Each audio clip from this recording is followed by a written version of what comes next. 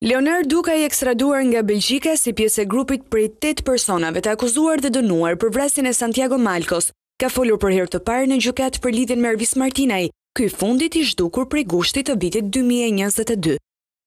Me baste jemi marrë ne, ai ka pasur shumë biznese, po ajo që kemi bërë bashkë është se jemi marrë me bastet.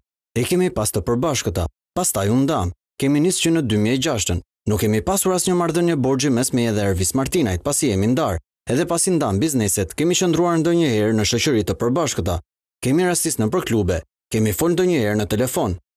Duka thotë se nuk ka pasur asnjë konflikt as me Santiago Malkon dhe as me Ervis Martinajn, teksa sulmoi prokurorin e çështjes, duke e cilësuar atë si të paaftë.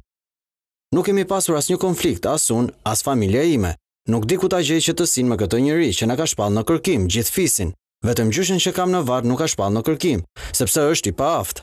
Leonard Duka akuzohet si organizatori i vrasjes së Santiago Malkos, si hakmarrje ndaj Ervis Martinajt për një borxh të pretenduar prej pesëqind mijë eurosh.